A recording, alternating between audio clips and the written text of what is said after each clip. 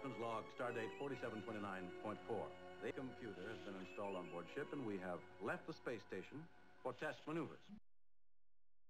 Captain, I found this device on my console. The most ambitious computer complex ever created. Nothing but circuits and memory banks. Fascinating, Doctor. This computer has a potential beyond anything you've ever done. The right computer finally came along. Computer, this is Admiral James T. Kirk. Request security access. Destruct sequence 1. Code 1. 1A. Computer, Commander Montgomery Scott, Chief Engineering Officer. Destruct sequence 2. Code 1.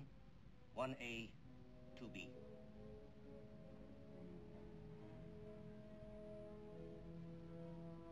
Computer, this is Commander Pavel Chekov, acting science officer.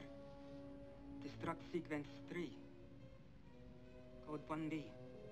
2B. 3. Destruct sequence completed and engaged.